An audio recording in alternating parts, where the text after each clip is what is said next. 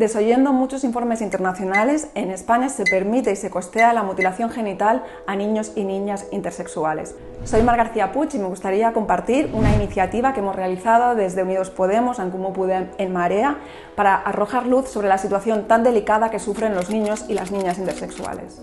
Antes de nada, aclaremos que la intersexualidad no es un defecto, no es tampoco una patología.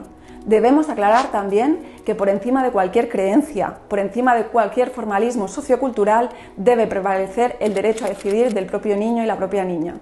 La mutilación genital intersexual es dañina y traumática. Es una forma de mutilación genital y de abuso sexual infantil y es además un tipo de tortura y maltrato.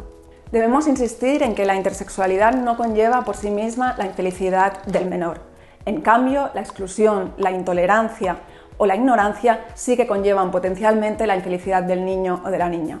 Hemos escuchado a expertos y expertas, profesionales, familiares y menores, y estas son las propuestas que hemos llevado al Congreso.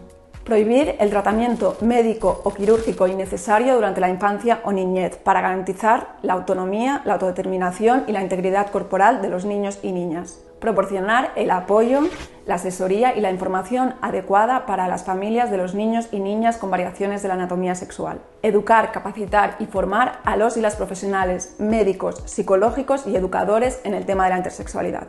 Desde Unidos Podemos consideramos que es más justo y más prudente trabajar desde el respeto y esperar a que el niño o la niña tenga plenas facultades para poder tomar una decisión sobre su destino íntimo y vital.